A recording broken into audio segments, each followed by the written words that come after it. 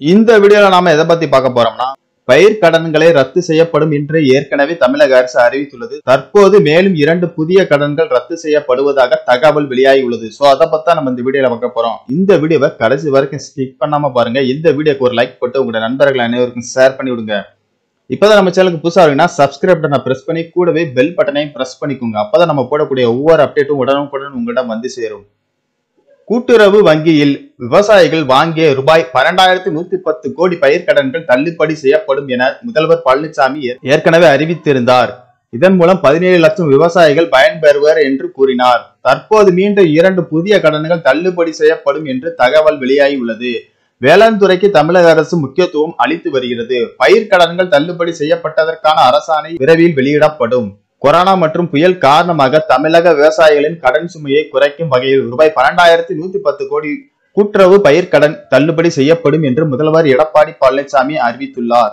இதன் மூலம் பதினாறு புள்ளி நாற்பத்தி மூணு லட்சம் விவசாயிகள் பயன்பெறுவார்கள் என்று அறிவிக்கப்பட்டுள்ளது. ஏற்கனவே இரண்டாயிரத்தி பதினாறாம் ஆண்டு விவசாய கடனை தமிழக அரசு ரத்து செய்தது. அந்த வகையில் இரண்டாவது முறையாக விவசாய கடனை தமிழக அரசு தள்ளுபடி செய்துள்ளது. இந்நிலையில் ஆவணங்கள் மட்டுமின்றி நகைகளை வைத்து பயிர்க்கடன் பெற்ற விவசாயிகளின் கடன்களும் தள்ளுபடி செய்யப்படும் என்று அமைச்சர் செல்லூராஜு தெரிவித்துள்ளார். முதல்வர் சட்டப்பேரவையில் வெளியிட்ட அறிவிப்பு தொடர்பாக மதுரையில் செய்தியாளர்களை சந்தித்த அமைச்சர் செல்லூராஜு கூட்டுறவு வங்கியில் விவசாயிகளின் பெற்ற பயிர்க்கடன் தள்ளுபடி செய்யப்படும் என்று முதல்வர் அறிவித்திருந்தார். தற்போது ஆவணங்கள் மட்டுமின்றி நகைகளை வைத்து பயிர்க்கடன் பெற்ற விவசாயிகளின் கடன்களும் தள்ளுபடி செய்யப்படும் என்று அமைச்சர் இவ்வாறு தெரிவித்துள்ளார்.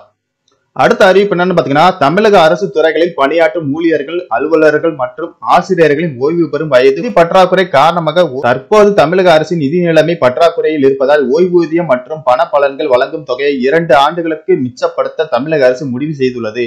இதற்காக அரசு ஊழியர்கள் ஆசிரியர்களின் ஓய்வு பெறும் வயதை ஐம்பத்தி ஒன்பதில் இருந்து அறுபதாக உயர்த்த அரசு திட்டமிட்டுள்ளது. இந்த முடிவு காரணமாக இந்த ஆண்டுக்கு தேவையான பத்தாயிரம் கோடி ரூபாய் மிச்சமாகும்.